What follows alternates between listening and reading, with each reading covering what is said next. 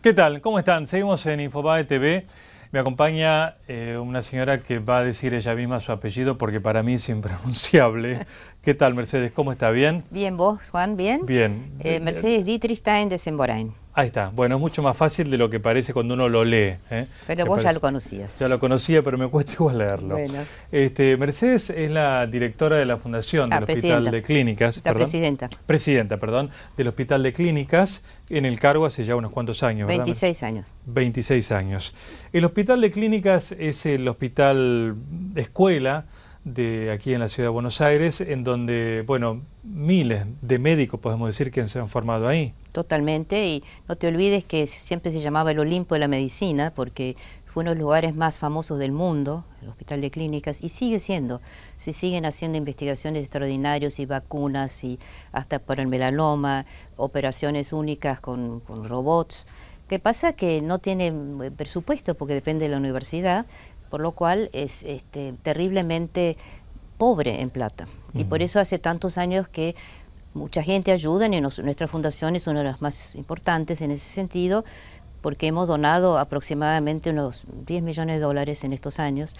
La hace- fundación recaudó 10 millones Sí, de dólares sí, para sí. el hospital. Hay una época que era uno a uno, ¿no? Claro, claro. Hay que decirlo, ¿no? Sí, sí. Pero de todas maneras hemos reciclado como 11 salas, hemos comprado aparatología de alta complejidad y última generación. Lo que pasa es que todo se envejece, ¿viste? Claro. Este, hemos hecho comedores para el personal, las mesas para comer, este, el tubo de la guardia hacia donde se hacen los estudios. El hace mucho tiempo manejamos a las escaleras mecánicas.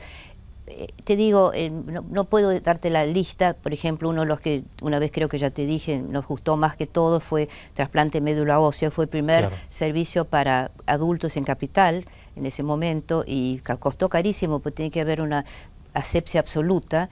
Y mm, bueno, la verdad que ayudamos mucho a asistencia social, dimos becas, ahora hay una beca el doctor Feinboim que está haciendo justamente uh, buscando una, una vacuna para ver por qué algunas personas se enferman y otros no.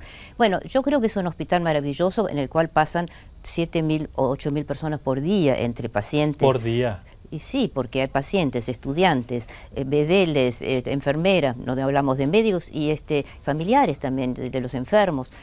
Y muchas veces no se pueden hacer las cosas porque faltan, faltan cosas básicas. Mm. Y bueno, y ahora eh, no- por eso este, estamos buscando siempre, tratando de conseguir algo de plata, que es relativo en lo claro. que precisa el hospital. Eh, la UBA eh, le asigna un presupuesto al Hospital de Clínicas.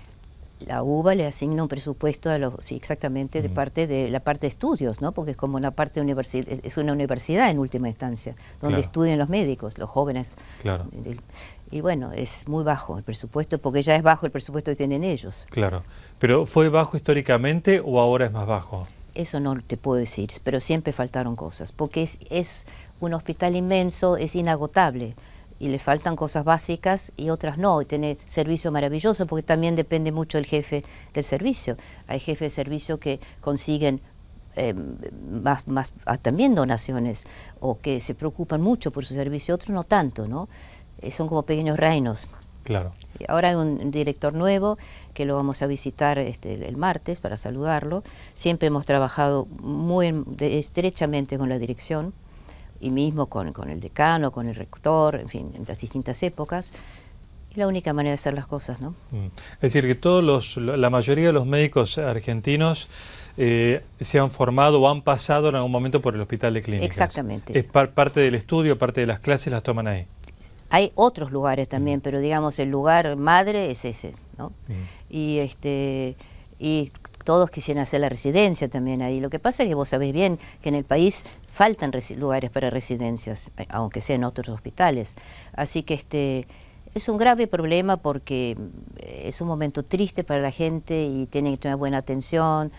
Y los médicos, muchos son excelentes, realmente excelentes. Y Mm. hemos, eh, por ejemplo, ayudamos mucho a oftalmología y se han salvado, porque han hecho, como épocas donde se ves mucho ojo, se hace toda una propaganda y se ha salvado la vista a mucha gente, que también es alegre, una cosa buena para nosotros. ¿no? Claro. ¿Qué reconocimiento internacional tiene el Hospital de Clínicas? Yo creo que muy bueno. Mm. En este momento no te podía decir, pero te quiero decir, la medicina argentina en general tiene un gran reconocimiento.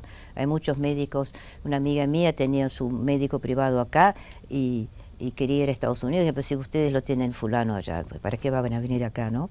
Y los médicos argentinos son de alto nivel para mí. Lo que pasa es que no siempre tienen los aparatos necesarios. Claro. Hoy en día todo es aparatología, ¿no? Y atiende a, a- a la población de todo el país. Y no solo, de, de Capital Federal, de todo el país y de países limítrofes. Ujú. Es interminable. Recibe a todos por igual. Sí. ¿Y tiene algún bono contribución? No, bueno, la gente también tienen sindicatos que pagan, ¿no? Algún pago hay.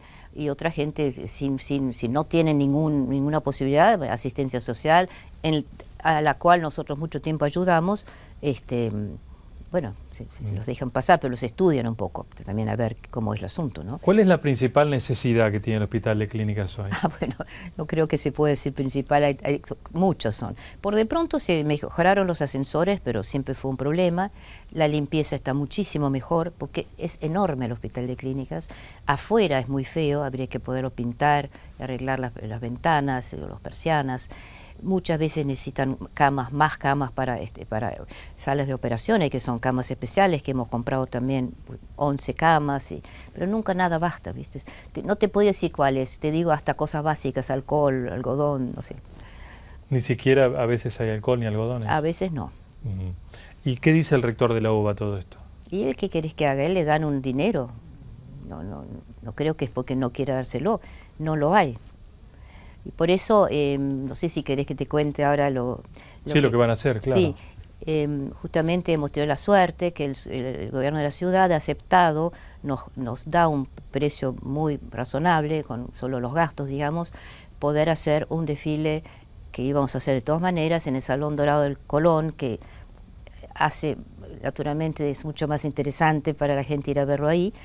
Y estamos muy agradecidos porque eh, se atienden una enorme cantidad de personas de capital en el hospital. Entonces es como un agradecimiento y yo creo que por eso lo han dado también y a través nuestro ayudar al hospital y estamos muy, muy, muy felices. Y es el 15 de mayo Sí. en el Salón Dorado, va a presentar su colección Gabriel Lage, es alta costura, que ha presentado en el mundo entero. Ya he- hemos hecho varios ben- beneficios con él en embajadas, en la de Francia, en la de Uruguay, pero obviamente el Salón Dorado del Colón es muy especial, ¿no? Y pues- Convoca pues, mucha gente. esperamos que sí. Y es un evento para recaudar fondos. Para, este, en este caso específico, para terapia intensiva pediátrica, Mm. que también la misma jefa está, de, de esa sala también está buscando dinero por su lado, porque es in- inagotable los costos, ¿no? Mm. Porque todo tiene que ser perfecto, las camitas y todas las aparatologías, y bueno, esperamos poder terminar lo que hemos empezado, y ella por su cuenta también, para terminar terapia intensiva pediátrica, que creo que es muy importante, ¿no?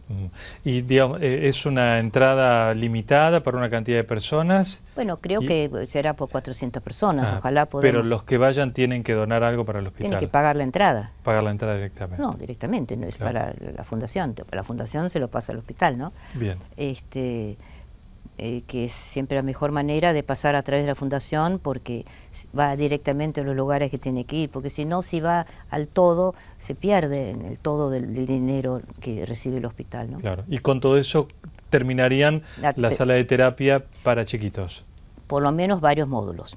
De pediatría. Bien. Este, bueno, entonces convocamos a, a- a quienes quieran participar, si quieren eh, colaborar con la fundación, ¿cómo lo hace Mercedes? ¿Te doy un teléfono? Claro, Eh, y no. te voy a pasar un flyer, si después sos tan amable y lo pasás. ¿Cómo no? Es eh, 801-8191. 4-801-8191 es la fundación, nuestra oficina de 9 a 13. Más adelante van a estar más horas ahí, más las personas, las que les interesa comprar entradas que llamen o, hacer o poner algún aviso en nuestro catálogo, eh, sería muy bienvenido, ¿no? Muy bien. Bien, gracias Mercedes por haber venido. ¿eh? Y a vos te agradezco muchísimo de haberme invitado. No, por favor, un placer para difundir esta necesidad que tiene el Hospital de Clínicos. La convocatoria es para el 15 de mayo en el Salón Dorado del- Teatro Colón. La entrada va a formar parte del dinero que se va a juntar para, eh, con esta donación, poder terminar la sala de terapia intensiva pediátrica en el Hospital de Clínicas. Ya seguimos.